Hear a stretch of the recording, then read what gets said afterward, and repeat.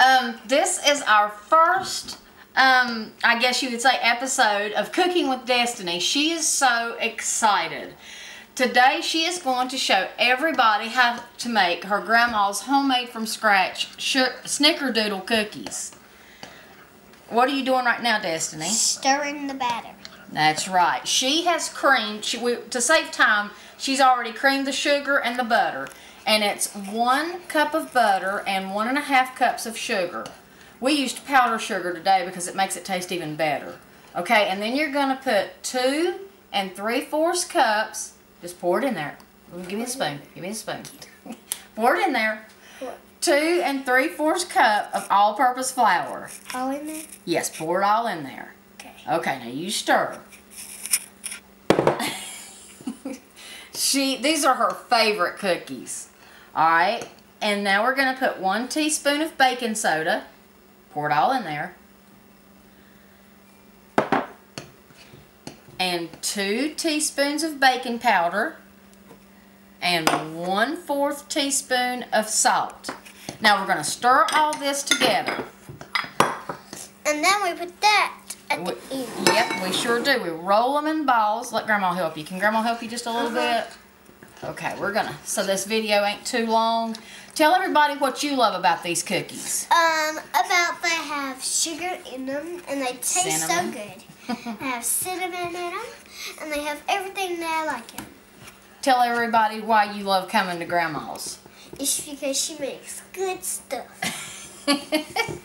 and why do you want to learn how to cook? It's because this stuff is the most good thing in the whole universe. Well, tell everybody why you want to learn how to cook. Um, it's because Grandma makes good stuff. I want to learn how to how she cooks. Mister, mister, mister. All right, now your batter is going to get like sticky, and that's exactly what you want. Mom, give me sticky. Okay, Destiny has already washed her hands, So and so have I. so give me. Hold on, hold on, baby. Now what you do is you take a take a little bit and form it into a ball. Then you're gonna roll it in three tablespoons of cinnamon and two tablespoons, uh, excuse me, four tablespoons of granulated sugar. Then you just kind of pat them out and you put them in your baking dish or your cookie sheet. Good girl. Destiny wanted to show all of her little friends how she does this. I'm going to tell y'all something. Being a grandmother is the best thing in the world. This is my granddaughter Destiny, and she's not only the love of my life, but she also rules my house, and she knows it.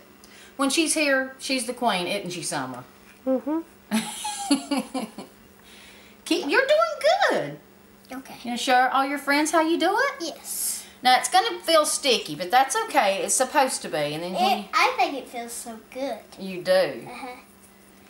I want to eat one. Well, you're gonna have to wait till it gets done baking. Now, when you bake these, you don't leave them in the oven too long because when you're making homemade from cookies from scratch, if you leave them in the oven too long, they're gonna get really hard when they cool down, and they're not gonna taste good. And these have a tendency to really burn really quick on the bottom. So you put your rack in the center of the oven and you bake these on 350. Can there be a big cookie? Yes, you can make a big cookie. And when you put them on 350, you keep a really close eye. Don't be doing anything else in the house when you're baking these cookies for your kids or your grandkids because, like I said, they typically want to burn really quick on the bottom. When you can go ahead and um, scoop them up with a cookie spatula, it's time to go ahead and let them out. And you just let them cool down and then they finish cooking by themselves. And they're soft and warm and chewy and absolutely delicious, but they're still done. Hmm, A big cookie. Okay. At least you make a ball. Those look delicious. Oh, they're I'm gonna be making awesome. a big cookie, Summer. There's the cookie dough. Look how big my cookie's gonna be. Flatten it out. I have. Roll it in your cinnamon sugar mixture first. And this is perfect. Today is icing and the roads are bad and schools are out, so when you're spending time, now push it down. When you're spending time with grandma, Wow, a big cookie. Can that be mine? yes, that can be yours. Yeah. You want to tell everybody what Uncle Adam does when we make these cookies? He eats all. And he don't let me eat none. he don't. No. He does. He does. She just loves to pick with her Uncle Adam.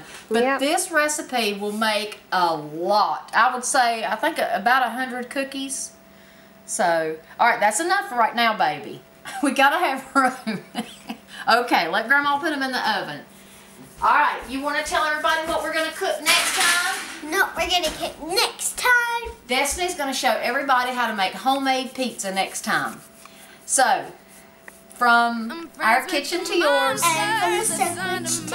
Yes, I'm the soap witch. Say blessings, love, and light. Blessings, love, and light. Say thank you for watching. Thank you for watching. Cooking with Destiny. Cooking with Destiny.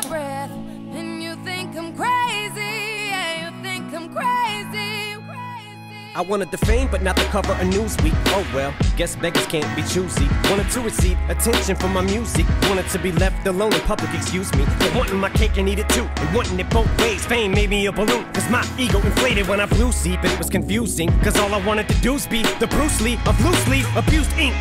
Use it as a tool when I blew steam. Hit the lottery, ooh wee. But with what I gave up to get, it was bittersweet. It was like winning a used me. Ironic, cause I think I'm getting so huge, I need a shrink. I'm beginning to lose sleep. One sheep, two sheep, going cuckoo and kooky is Kool Keith. But I'm actually weirder than you think. Cause I'm I'm friends with the money.